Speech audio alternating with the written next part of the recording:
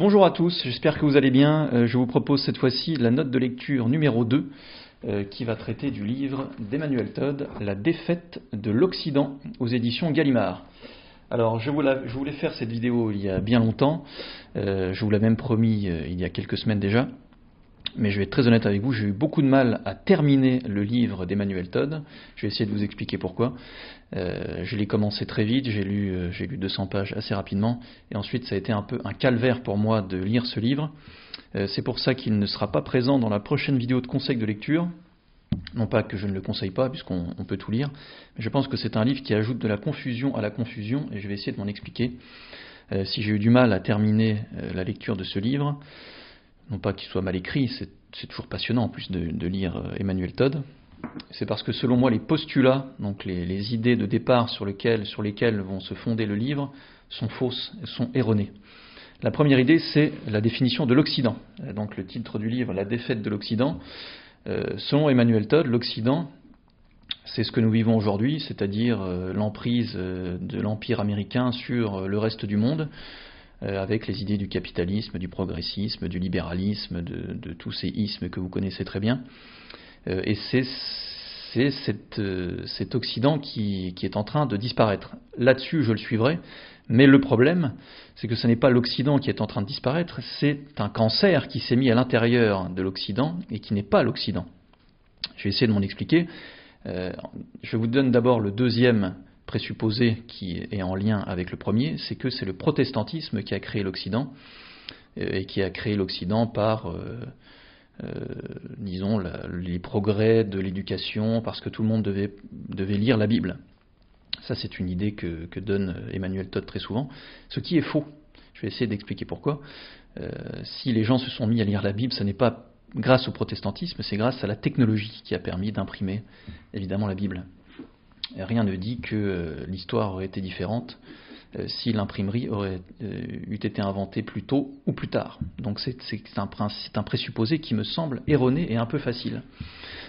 Alors pour tenter de m'expliquer là-dessus, essayons de définir ensemble ce qu'est l'Occident. Et je pense que c'est un, thème vraiment clé euh, de, la période actuelle parce qu'on entend ce terme partout Occident, euh, l'Occident contre la Russie, euh, la Russie fait partie de l'Occident pour certains et pas pour d'autres. Qu'est-ce que l'Occident? Eh bien l'Occident naît dans, une région du monde qui est l'Europe, est né dans une religion très particulière qui est le christianisme. Selon moi, l'Occident naît grâce au christianisme et par surtout les élites chrétiennes de l'époque qui étaient dans les monastères, qui étaient les moines. L'Occident, en réalité, naît par la scolastique, Saint Albert le Grand, Saint Thomas d'Aquin. Pourquoi? Parce que euh, grâce à la scolastique, euh, nous allons comprendre les bienfaits temporels de ce génie spirituel, de cette intelligence spirituelle qu'est le christianisme. J'essaie de m'expliquer le plus simplement possible, mais c'est les, grandes thèses de saint Thomas d'Aquin. C'est que nous sommes, et j'en ai déjà parlé pour ceux qui suivent mon travail, nous sommes, euh, quand nous sommes croyants chrétiens, nous sommes dans un dualisme métaphysique ou un dualisme de l'être. C'est-à-dire, pour faire très vite, euh, le corps de Dieu est à l'extérieur du corps du monde. Ce sont deux choses séparées. C'est la création du sacré. En séparant ces deux corps, en ayant mis ça en, lumière, eh bien, ça va permettre évidemment la création de la science, parce que nous comprenons euh, que nous avons le libre arbitre réellement, et que nous pouvons avoir euh, un impact sur notre réalité et que nous pouvons étudier euh, le corps du monde et en comprendre les principes, et c'est la naissance de la science. Ça, ce n'est pas grâce au protestantisme, c'est bien avant le protestantisme. Je ne nie pas que le protestantisme s'est emparé de cela. Qu'est-ce que le protestantisme, pour faire encore une fois très schématique? Le protestantisme va désacraliser une partie du christianisme, c'est-à-dire qu'il va désacraliser ce qui devait rester sacré à l'intérieur du corps du monde, je pense par exemple à la Sainte Eucharistie, euh, au Saint, à tout ce qui fait en, réalité intercession entre le monde temporel et le monde spirituel. Et il va, le protestantisme, sacraliser ce qui ne devait pas être sacré dans le corps du monde, à savoir évidemment l'argent. Pourquoi l'argent? Parce que dans la croyance protestante, qui est une résurgence de ce point de vue-là du judaïsme, il y a des élus, il y a ce qu'on appelle la prédestination. Euh, et quoi de mieux pour prouver la, prédestination euh, Qu'est-ce que ça veut dire? Ça veut dire qu'il y a des élus. Il y a des élus sur Terre qui sont élus depuis, euh, depuis toujours au ciel et d'autres qui ne sont pas élus et qui iront en enfer. Et évidemment, ça crée une sorte de psychose dans l'esprit, et ça Emmanuel Todd d'ailleurs en parle aussi, ça crée une sorte de psychose dans l'esprit protestant qui est mais comment est-ce qu'on peut savoir si on est élu ou pas? Eh bien évidemment, ce sera la réussite temporelle par l'argent. Donc on sacralise ce qui ne devait pas être sacralisé, ce qui ne devait pas être sacré. Eh bien nous aurons la preuve de notre euh, élection et de notre salut. Alors ça, ça ne va pas créer l'Occident, ça va créer le cancer qui va se placer sur le corps de l'Occident et qui va donner ce qu'on appelle aujourd'hui malheureusement l'occidentalisme, ce qu'on appelle aujourd'hui l'Occident un peu partout dans les médias et pas que. Et évidemment, on est en train de vouloir euh, sauver euh, non pas l'Occident, mais son cancer. Et c'est très, pervers parce qu'en sauvant le cancer, bah, vous continuez à détruire. Euh, c'est comme si vous aviez un cancer que vous, alimentiez, vous avez un cancer des poumons, vous continuez à fumer, eh bien vous allez détruire votre corps en pensant le sauver, puisque vous n'avez pas compris la différence entre votre cancer et votre propre corps. Donc ces postulats euh, de base m'ont vraiment empêché d'apprécier euh, le livre d'Emmanuel Todd, qui est par ailleurs très riche sur beaucoup de thèmes, je n'en parlerai pas ici, pour ne pas réaliser une vidéo de, 30 minutes ou d'une heure. Je vais essayer de, régler la chose en, 20 minutes, et beaucoup de choses déjà ont été dites sur, euh, le livre d'Emmanuel Todd. donc voilà, ces deux postulats m'ont beaucoup embêté, euh, parce que en, réalité, euh, Emmanuel Todd n'explique pas la défaite de l'Occident, mais la défaite cancer de l'Occident, parce qu'effectivement, euh, il y a une partie de ce cancer qui est, mal en point et qui, de manière géopolitique en tout cas, est en train de disparaître. Maintenant, pour continuer sur cette idée différence entre l'Occident, le protestantisme, la différence entre la gestion de l'économie chrétienne et la gestion de l'économie, disons, protestante. Je vais vous citer euh,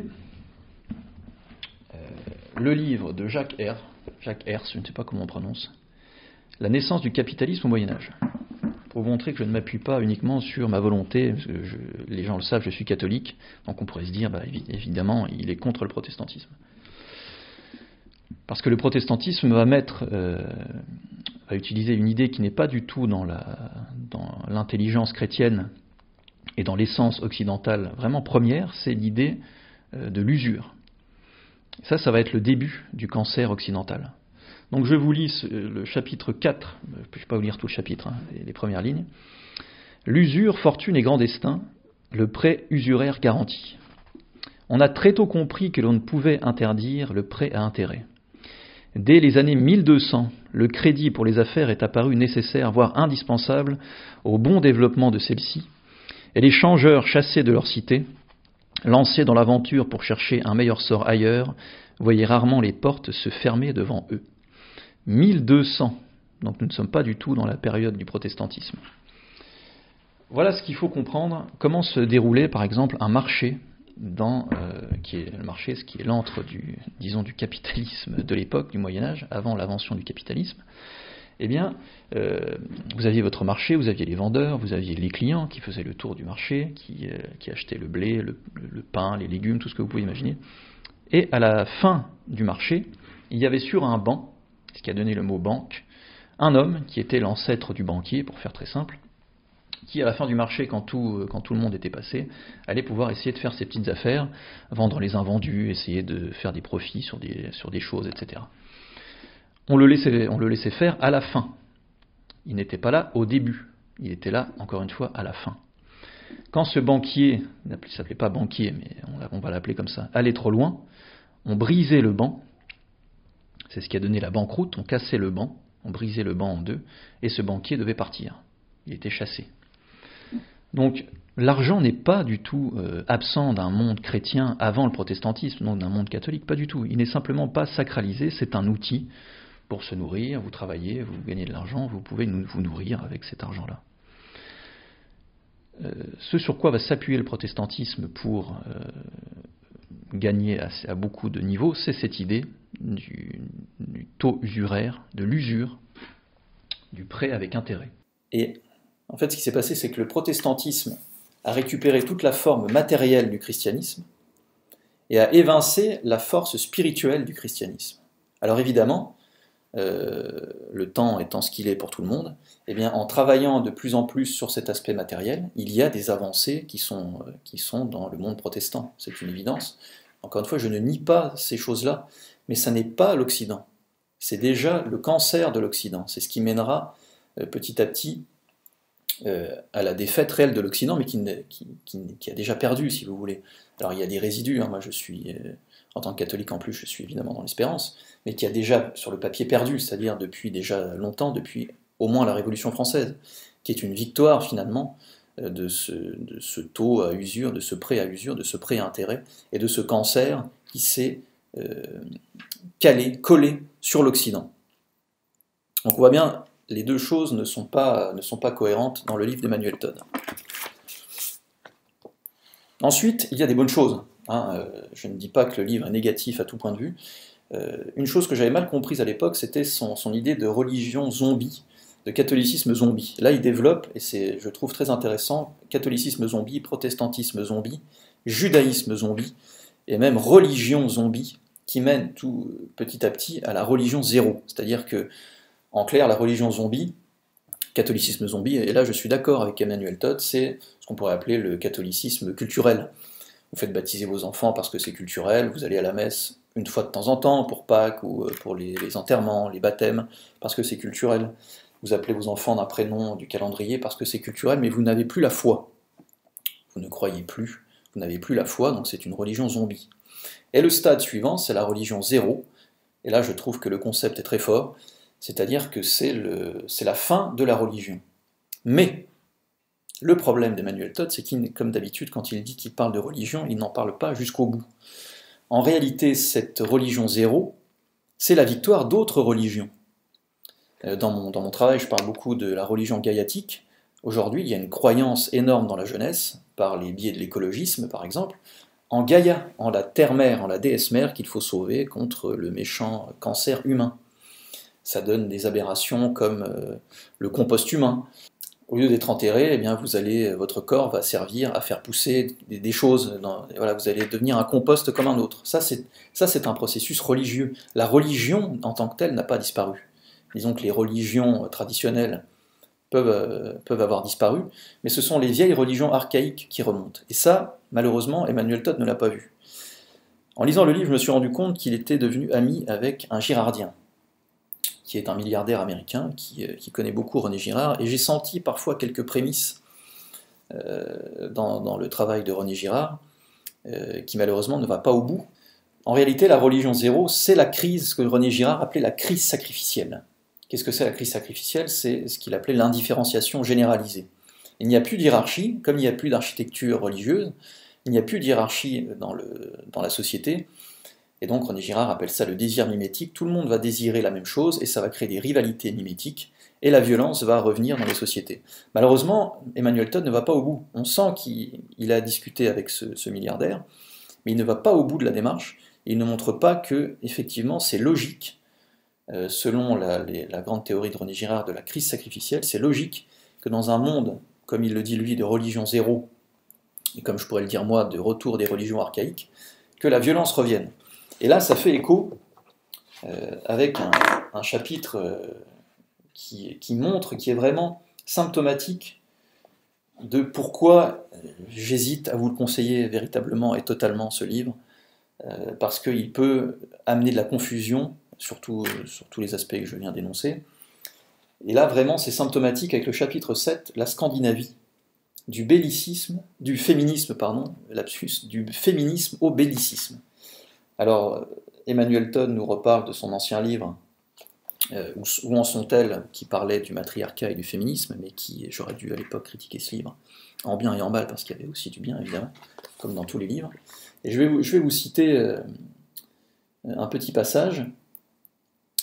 J'ai associé la baisse du sens du collectif, et donc de l'intérêt pour la chose militaire, à l'émancipation des femmes.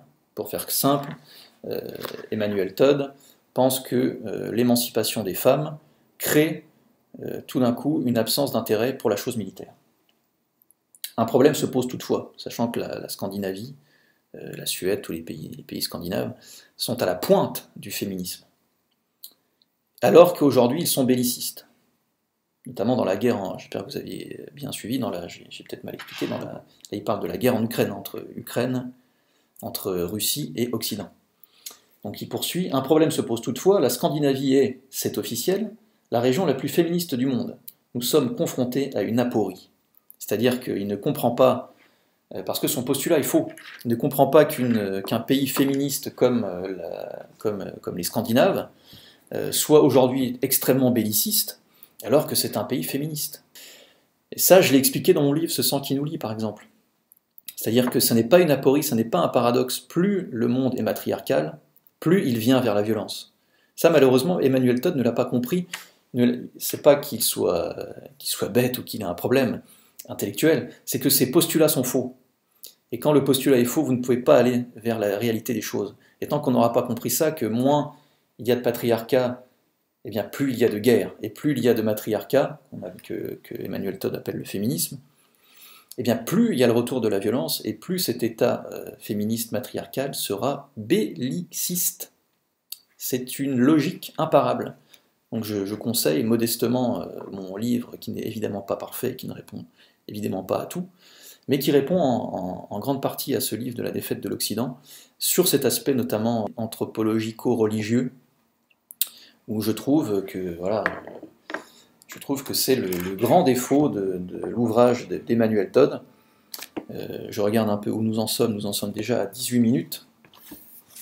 Je regarde un peu mes notes pour savoir si je vous ai dit le principal, que je ne veux pas faire trop long. Voilà, il y a, a un autre chapitre qui est intéressant euh, et qui, relève aussi malheureusement de, ces postulats qui sont erronés, euh, qui est l'énigme ukrainienne.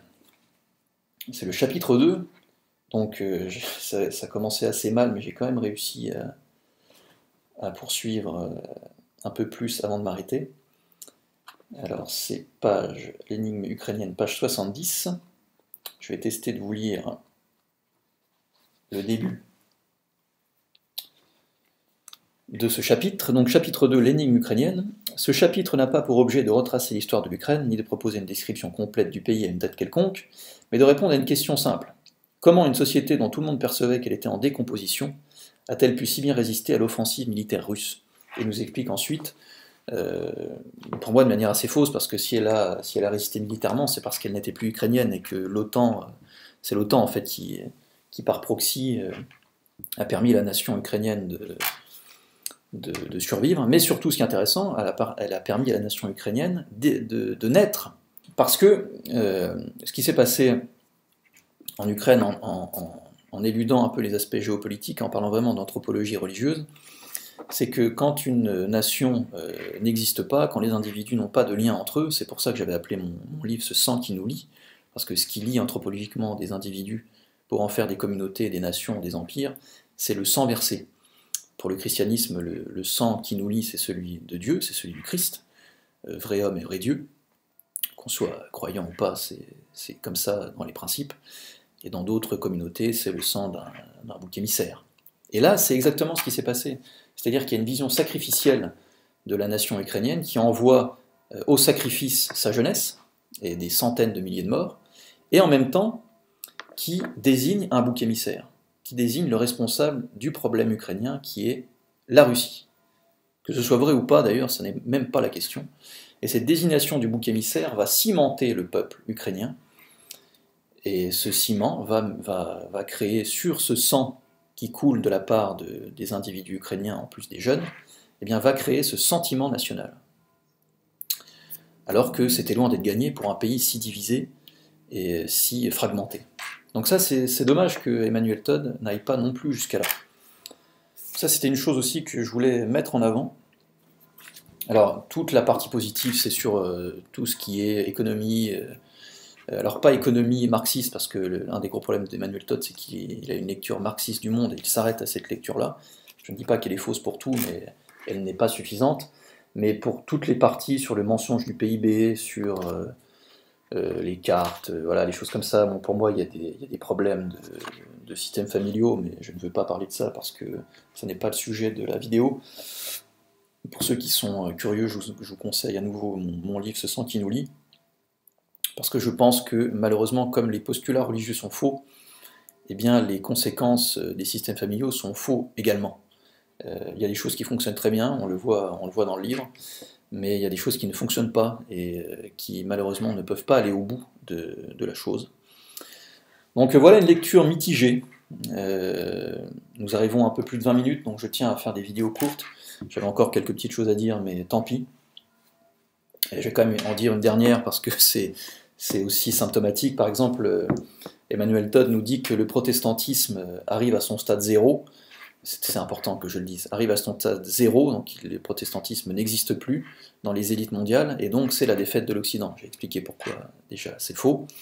Mais euh, pour étayer son idée, il raconte sa discussion avec ce milliardaire euh, girardien, euh, et ils se disent, bah, on n'a qu'à regarder qui est autour de Biden, qui selon eux est catholique, et effectivement, il n'y a plus de protestants. Mais j'ai envie de leur dire, mais c'est comme, le, c'est comme, si vous voulez, le sucre dans l'eau. À un moment donné, si vous mettez, si vous mettez du sucre dans une bouteille d'eau, vous n'avez plus besoin d'en rajouter dans votre verre, parce que le sucre est déjà là. Si vous voulez, l'esprit du protestantisme a gagné. Donc évidemment, euh, évidemment qu'il n'y a plus besoin que euh, le, bras droit, le bras droit de Biden soit protestant. Biden n'est pas, je ne sais pas s'il a la foi, je ne sais pas moi de dire s'il est catholique ou pas, mais euh, il n'est pas président des États-Unis en tant que catholique, si vous voulez. Il ne réfléchit pas à sa géopolitique en tant que catholique. L'esprit moderne, qui est un esprit largement protestant, à gagner. Donc il n'y a pas besoin de, dire voilà, il me faut un protestant, là c'est pas la peine, etc. C'est, ce temps-là, si vous voulez, est terminé. Nous sommes dans un temps désincarné où l'esprit du temps est tel qu'il est et, euh, dans, tous les cerveaux. Donc je trouve ça assez léger. Euh, alors oui, c'est statistique, ça c'est la, force d'Emmanuel Todd, c'est les stats et c'est euh, on montre oui, qu'il n'y a plus que 2% de ceci, 2% de cela dans, l'administration Trump, mais non, ça suffit pas. Euh, voilà, donc c'est un goût d'inachevé pour moi. J'ai lu quasiment tous les livres d'Emmanuel Todd. Et avec mes travaux, j'en suis toujours venu à ce petit goût d'inachevé. Donc je ne sais pas en fait ce que je dois vous dire, si je vous le conseille ou pas. Euh, ça m'a quand même passionné un minimum, hein, sinon je ne vous en parlerai pas.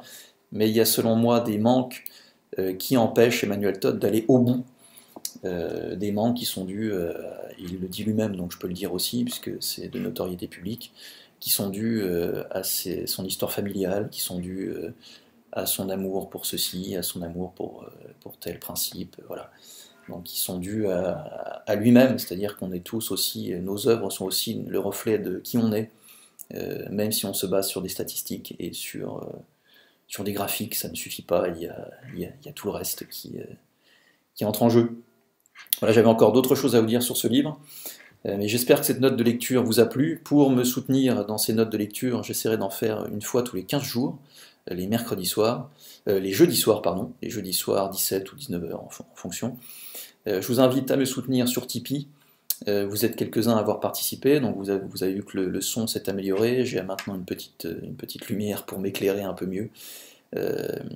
Donc voilà, je compte sur vous pour me soutenir sur Tipeee pour ces émissions, ces vidéos. Euh, je vous souhaite une belle soirée. Je vous dis normalement à dans 15 jours. J'hésite encore entre 2-3 livres. Euh, pour ceux qui nous suivent sur les, sites internet de la maison d'édition, je vous invite à, vous rendre sur éditionduverbehaut.fr. Nous avons du nouveau, notamment dans l'onglet librairie, avec euh, enfin le retour euh, d'une petite librairie en ligne qui va grandir, grandir, je vous en parlerai un peu plus euh, la prochaine fois. Donc, c'était la note de lecture du livre d'Emmanuel Todd. Je mettrai le lien tout de même pour vous le procurer euh, sous la vidéo. Je mets également le lien, un lien, je ne sais pas s'il est encore disponible, mais je trouverai bien un lien sur une plateforme d'occasion pour le livre de Jacques R, Hers, et je vous proposerai également mon livre Ce sang qui nous lit pour compléter un peu tout ça. Je vous souhaite une belle soirée et dans tous les cas, de bonnes lectures. A très bientôt.